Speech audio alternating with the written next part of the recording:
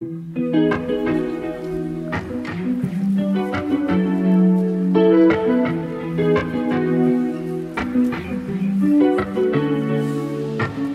today's video, I'll show you how a piece of mesh can double as a mosaic substrate. We'll prep the mesh, tile it, and grout, all without a hard substrate. Plus, learn why you would want to make your next mosaic this way. Let's get to it. Welcome back, and if you're new here, my name is Julie. And on this channel, we talk about tips, tricks, tools, adhesives, materials, and specific mosaic projects, all to shorten your learning curve when it comes to creating mosaic art. So if that sounds like something you'd be interested in, please consider subscribing. Recently in a Q&A video here on the channel, I answered a viewer question who asked if you could mosaic on mesh and grout it before you installed it onto its final substrate? And the answer is yes, you absolutely can do that. Now in that Q&A video, I gave a brief explanation of what needed to be done in order to achieve this. However, some of you wanted to see the step-by-step -step tutorial. So in today's video, I'll show you how to prep, tile, grout, and finish off a mesh mosaic. I should note that this is a small 3 inch by 6 inch mosaic. This is not a technique that I would use on a large mural mosaic. We've got a lot to cover, so let's get started. For today's project, I'll be using a non-adhesive mesh. If you aren't familiar with mesh in mosaic, I have done a video here on the channel all about using mesh in your mosaic work and I'll include a link down below in the description so you can check it out. The first thing you want to do is tape down some plastic to your work table. This will allow you to tile with whatever adhesive you like as well as do your grouting and your mosaic won't stick to your table.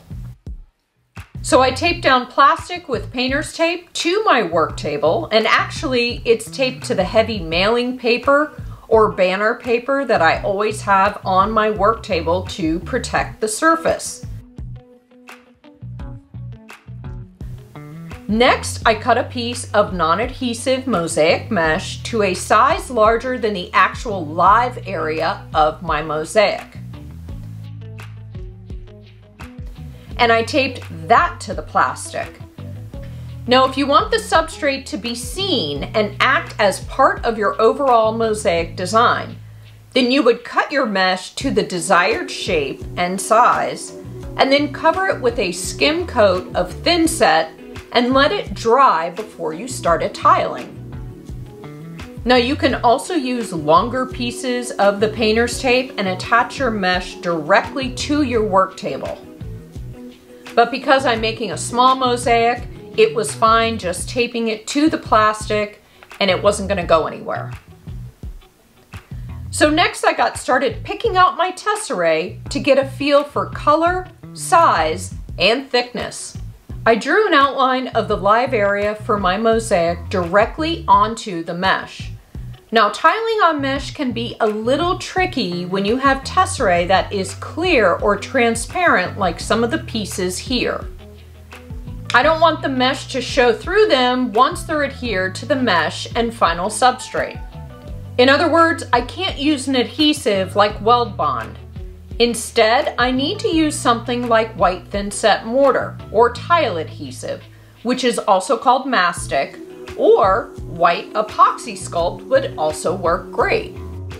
Now, if you aren't working with clear or transparent tesserae and your mosaic will be displayed indoors, then an adhesive like Weldbond would work just fine with the mesh. Keep in mind, all of your tesserae would need to be about the same thickness if you wanted your tiled surface to be at the same level. So for this mosaic, because I have a wide variety of tesserae thicknesses, plus the clear and transparent glass, I decided on white thinset mortar as my adhesive and got to work tiling on the mesh. If you aren't familiar how to tile a mosaic, using a variety of thicknesses of tesserae, I recently did a video here on the channel all about the subject and I'll include a link down below in the description so you can check it out. As you tile, you just adhere your pieces to the mesh as if it's a solid substrate. What eventually happens is the adhesive on the back of your tesserae meets up and joins the adhesive of other tesserae and it creates a solid adhesive layer that adheres to the mesh. I tried to keep the thinset mortar inside the live area, but I didn't sweat it if some got outside of the live area.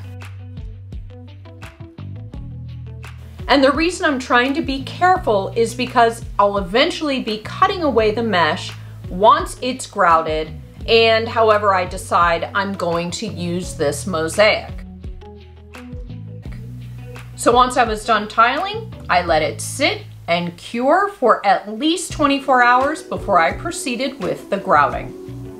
Okay, the mesh mosaic has been sitting here at least 24 hours and is ready to be grouted. I mixed up a small batch of white grout since it isn't a very big or very thick mosaic. You could always use thinset mortar as your grout if you'd like a more substantial material between your tesserae.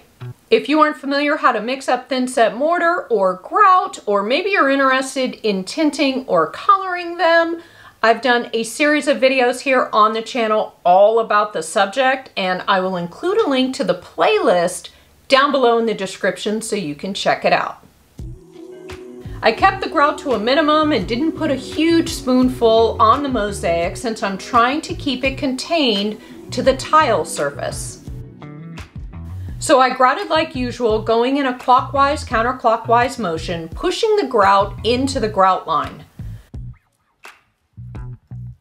Once I was done grouting the front of the mosaic, I ran my fingers with a little bit of grout along the edge to finish it off. Then I let the mosaic sit for about 10 to 15 minutes to dry a bit before I cleaned it off. Okay, the mosaic has been sitting here and is ready to be cleaned. I'm using dry paper towels to remove the excess grout. I'll remove the grout in the same way I put it on, going in a clockwise, counterclockwise motion. I'm being careful not to be too rigorous with cleaning off the grout, so it is taking a little longer than usual, only because I'm trying to be gentle with it. Once I was done cleaning off the front of the mosaic, I ran a paper towel along the edge to also clean that up. And once all of the cleaning was complete, I let it sit and fully cure for at least 24 hours. The next step in all of this is removing the grouted mosaic from the piece of plastic. So I carefully pulled off the painter's tape first. And then I gently lifted the mesh mosaic off of the plastic. You want to be careful not to bend, curve, or curl your mesh mosaic at this point. My mosaic, for example, is rather thin, so it would be easy to crack the grout during this process than let's say a thicker mosaic that used thinset mortar as the grout. So you'll see it releases from the plastic very easily and then I gently brushed off the dried pieces of thinset adhesive and grout along the edges of the mosaic. It flecks off pretty easily from the mesh.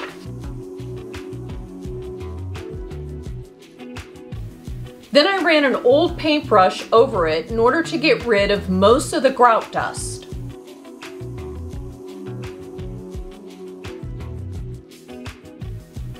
And lastly, I cut down the mesh to a more convenient size.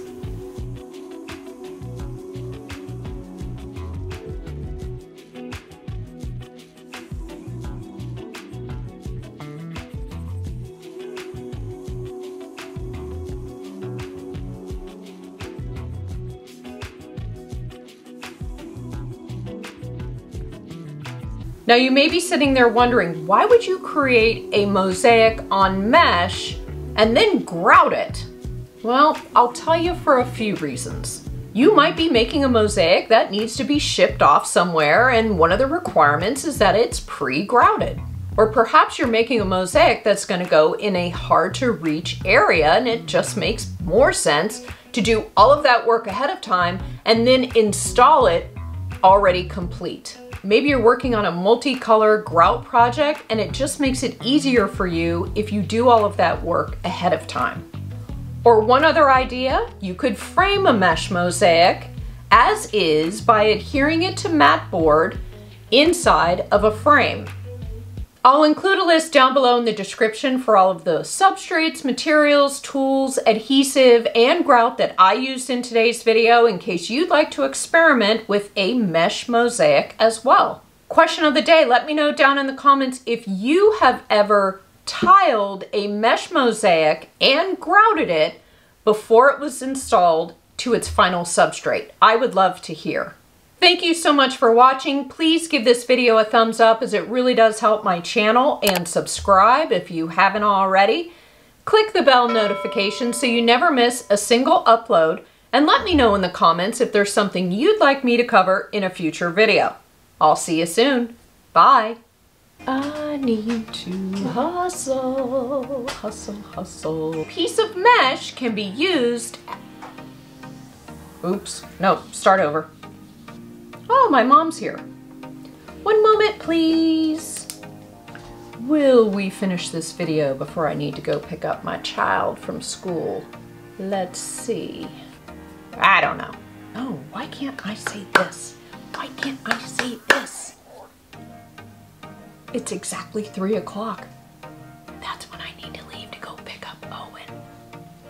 Yes, we did it. You and I, we did it. Okay, we're done. If you're looking for more mosaic inspiration, you can check out one of these two videos. Until then, see ya.